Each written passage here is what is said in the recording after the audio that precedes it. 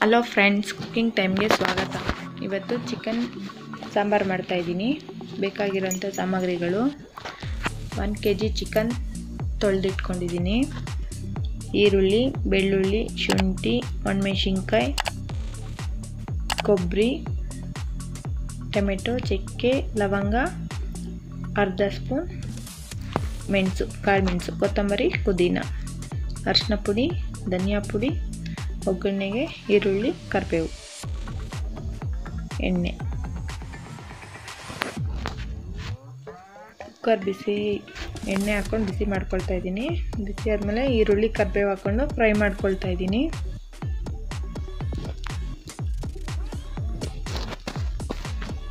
ಈರುಳ್ಳಿ ಫ್ರೈ ಆದಮೇಲೆ ತೊಳೆದಿಟ್ಟಿರೋಂಥ ಚಿಕನ್ ಹಾಕ್ಕೊಳ್ತಾ ಇದ್ದೀನಿ.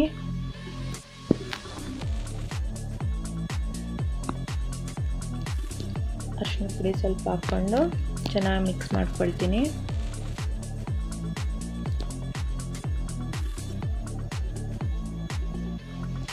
ಚೆನ್ನಾಗಿ ಎಣ್ಣೆ ಬೇಯ್ತಾ ಇರಲಿ. ಮಸಾಲೆಗೆ ರೆಡಿ ಮಾಡ್ಕೊಳ್ಳೋಣ. ಬಾಣಲಿ ಇಟ್ಕೊಂಡು ಈರುಳ್ಳಿ, ಎಣ್ಣೆ. ಈರುಳ್ಳಿ ಫ್ರೈ ಮಾಡುವಾಗ ಸ್ವಲ್ಪ ಎಣ್ಣೆ ಹಾಕ್ಕೊಬೇಕು ಫ್ರೆಂಡ್ಸ್ ಈರುಳ್ಳಿ, ಬೆಳ್ಳುಳ್ಳಿ, ಶುಂಠಿ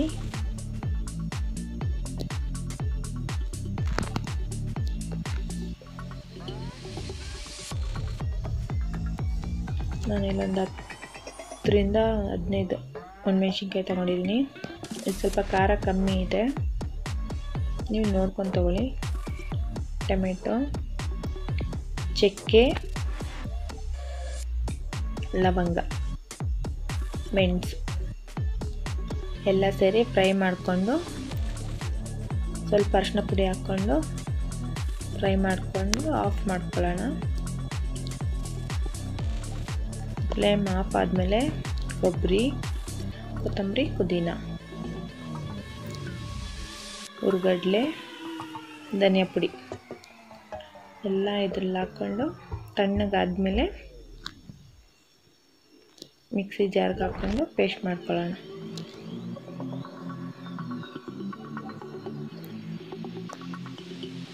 ಚಿಕನ್ಗೆ ಉಪ್ಪು ಹಾಕ್ಕೊಳ್ತಾ ಇದ್ದೀನಿ.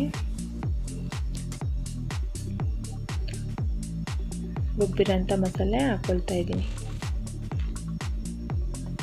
ಹಾಕಿ ಚಿಕನ್ಗೆಲ್ಲ ಮಿಕ್ಸ್ ಆಗೋ ಥರ ಮಿಕ್ಸ್ ಮಾಡ್ಕೊಳ್ಳೋಣ. ನೀವು ನೀರು ಎಷ್ಟು ಬೇಕು ಅಷ್ಟು ನೋಡ್ಕೊಂಡು ಹಾಕ್ಕೊಳ್ಳಿ. ಯಾವ ಹದ ಬೇಕೋ ಹದದಲ್ಲಿ ಎಷ್ಟು ತೆಳು ಬೇಕೋ ಅಷ್ಟು ತೆಳುವಾಗಿ ಸಾರು ಮಾಡ್ಕೊಬೋದು.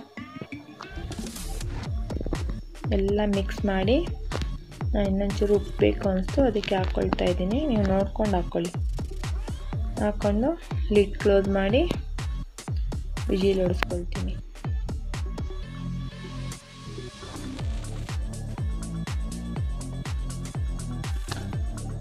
ವಿಜಿಲ್ ಹೋದ್ಮೇಲೆ ಲಿಡ್ ಓಪನ್ ಮಾಡಿ ನೋಡ್ತಾ ಇದ್ದೀನಿ. ಚಿಕನ್ ಚೆನ್ನಾಗಿ ಬೆಂದಿದೆ, ಎಣ್ಣೆ ಎಲ್ಲ ತೇಲ್ತಾ ಇದೆ. ಸಾಂಬಾರು ಗಟ್ಟಿ ಇದೆ ಅನಿಸ್ತಾ ಇದೆ. ನಾನು ನೀರು ಹಾಕ್ಕೊಂಡು ಮತ್ತೆ ಕುದಿಸ್ಕೊಳ್ತೀನಿ. ಉಪ್ಪು, ಖಾರ ಎಲ್ಲ ಹೀಗೆ ಚೆಕ್ ಮಾಡಿಕೊಂಡು ಸರ್ವ್ ಮಾಡ್ಕೊಳ್ಳಿ.